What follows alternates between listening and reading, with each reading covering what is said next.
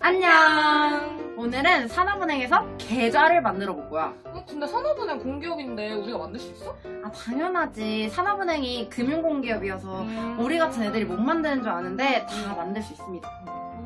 그럼 지금 8시 반인데 만들 수 있어? 만들 수 있어. 왜냐? 우리는 그 비대면 계좌라고 얼굴을 보지 않고 음. 핸드폰 아니면 PC에서 만들 수 있는 거를 만들어 볼 거야. 음, 그럼 만들 때 핸드폰 말고 다른 게 뭐가 필요해? 일단 총 세 가지가 필요한데 첫 번째 방금 너가 말한 핸드폰. 음. 근데 너네 핸드폰 너네 명의 맞아? 응. 우리 명이지. 그러면 두 번째 카드인데 아니 계좌. 응. 근데 계좌 너네 거 맞아? 엄카 아니야 엄카?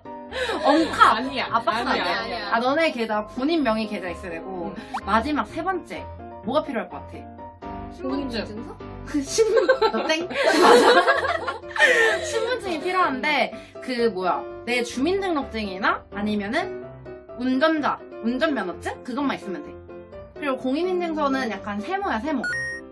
풀에 로그인을 하려면 공인인증서가 필요하기 때문에 음. 어쨌든 어쨌든 필요하긴 하지만 계좌를 만들 때는 이 세 가지만 있으면 된다. 아, 그럼 그걸 만들고 나면 어떤 게 좋은 거? 좋은 점이 있어? 아, 좀 많지 많아. 음. 일단 수수료 그 너네 음. 친구들한테 돈 보낼 때 어. 그거 공짜야 공짜. 근데 더 대박은 뭔지 알아? 뭔데? ATM기 응. 그것도 공짜야 공짜 막 어. 뽑아도 돼. 그 수수료 1,300원씩 받는데 너네 1,300원씩 아끼는 거야. 어, 좋다, 좋다. 그래 또 있어.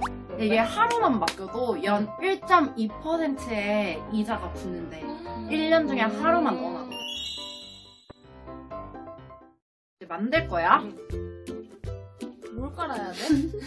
이제- 어, 뭐야? 어플 이름이 스마트 KDB. 음. KDB. 하나요?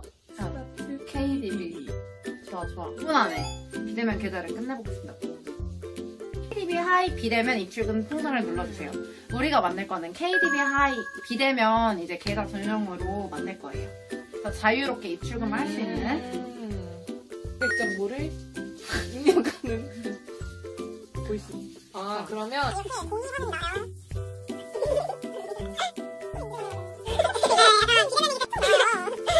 그러면 이제 신분증 촬영이 나옵니다. 신분증을 가져다 대면은 자동으로 촬영이 돼요. 네. 어, 됐네요? 어? 셀. 또 왔- 와!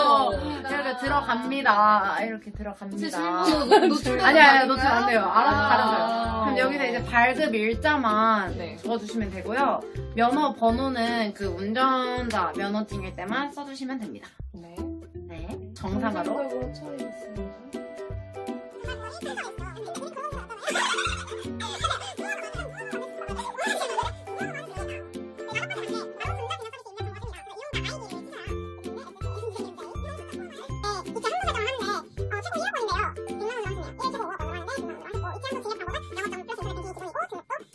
아, 그리고 여기서 중요한 게요. 보안 매체를 중요하죠.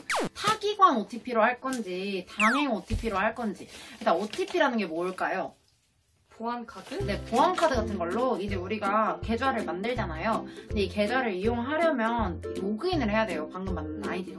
근데 로그인을 하려면 공인인증서나 OTP 카드가 필요합니다. 아, 그 제가 그냥 OTP 만드는데 신규로 만들면 5,000원이 들더라고요. 배송비 음. 2,500원에 발급비 2,500원. 신규 계좌에 900원을 보내야 돼요. 저할 때 600원이었는데 900원이 됐네요.